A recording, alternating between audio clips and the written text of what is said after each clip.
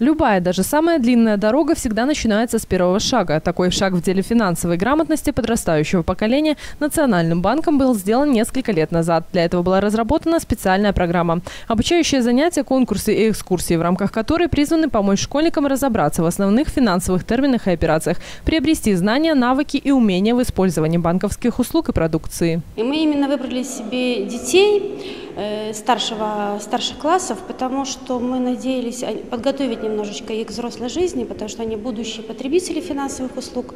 Ну и учитывая, что везде сегодня в банковском розничном бизнесе очень много различных технологий, и взрослое поколение иногда плохо в них разбирается, а дети очень легко и просто. Они сегодня с телефонами сотовыми уже рождаются, можно сказать.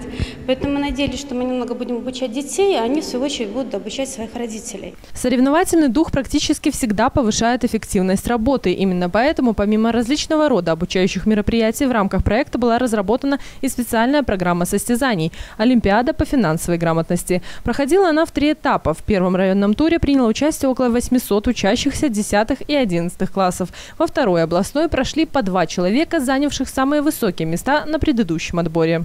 Была создана программа, разработаны вопросы, тематика. И первый этап, он включал проведение городских и районных определенных Э, олимпиад. Когда мы провели городские и районные олимпиады, мы убедились в том, что наши дети показывают довольно-таки большой уровень знаний и само по себе требовало продолжения следующего этапа. Именно областной тур и определил представителей Брещины, которые отправились на республиканские старты. Конечно, подготавливая ребят к конкурсу, сотрудники Главного управления Национального банка по Брестской области на успех рассчитывали и в юных финансистов верили. Однако итоги превзошли все ожидания. Первое и третье места пьедестала почета первой в стране Олимпиады по финансовой грамотности были завоеваны представителями Брещины Дмитрием Уснарским и Марией Вольской. Памятные подарки самым подкованным юным банкирам вручили накануне новогодних праздников. Я считаю, что эта Олимпиада, она очень полезная и очень важная.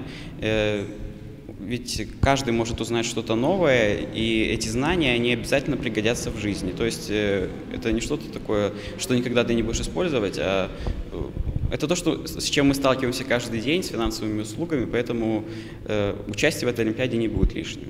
Родные Марии Вольской, получая подарок вместо девушки, которая, к сожалению, не смогла попасть на награждение, своих эмоций не скрывали. Они гордятся успехами Марии и верят в то, что почетное олимпиадное место, хоть и значимое, но только первая ступенька в карьере. И желают ей и всем участникам Олимпиады дальнейших успехов и свершений. Интересовалась, и да, все она там в другой раз даже мне еще подскажет, где какие банки, какие проценты бывают, что в каком банке новая.